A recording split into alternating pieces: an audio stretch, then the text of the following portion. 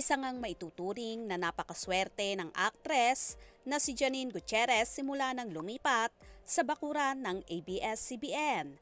Nagkaroon siya agad ng episode sa Maalaala Mo Kaya kasama si JM De Guzman.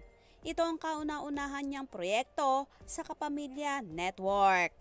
Nasundan agad ito ng pagiging main host niya sa Sunday afternoon show Ang Asap Natin To kung saan mainit siyang winelcome ng mga miyembro ng naturang show na yon.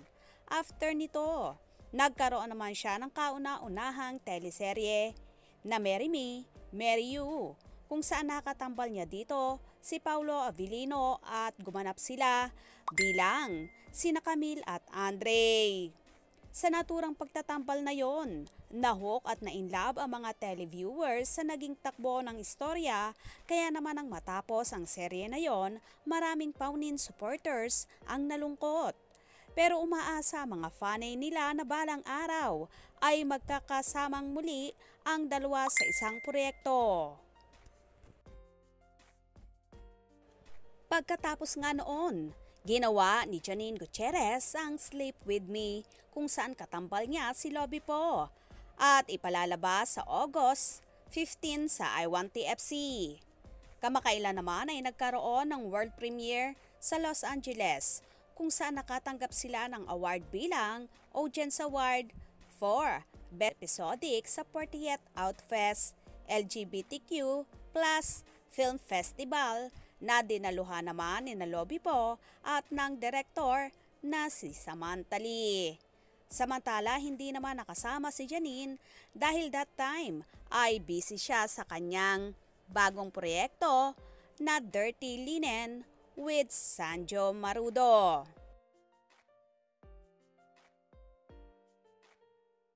Katatapos din lang ng gala night ni na Janine Gutierrez at JC De Vera para naman sa pelikula nila na bakit di mo sabihin na idinerehe ni Real Florido.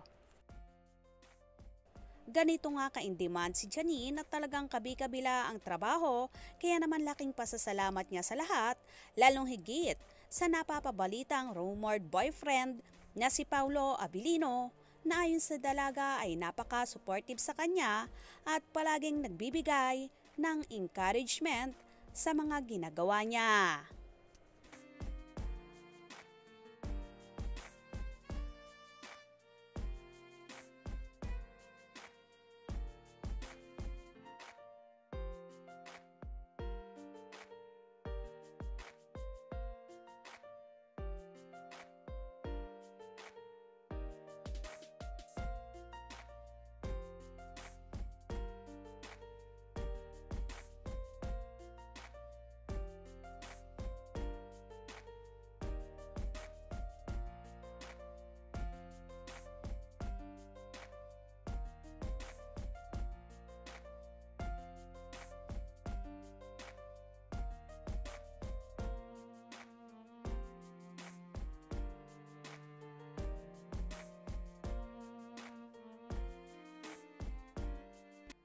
Sa pagpapatuloy pa ng aktres. Sobrang saya daw niya dahil dumating sa buhay niya ang aktor na tila ba ito na ang tuluyang pag-amin ng dalaga. Tila ba si Paulo nga ang lucky charm ng aktres kung kaya naman walang patid na blessings ang dumarating sa kanya. Bukod pa dyan ay tahasan na rin niyang inamin kay Robbie Domingo sa asap natin to na talaga namang in love siya ngayon. Well, hindi na nga yan kailangan pang itanong dahil kitang-kita naman sa mga mata at galawan, kilos ni Janine na totally in love talaga siya. Kaya naman, abang-abang lang tayo. Malay natin, next year, may proposal o kasalan ang magaganap sa paunin. Ano sa palagay nyo?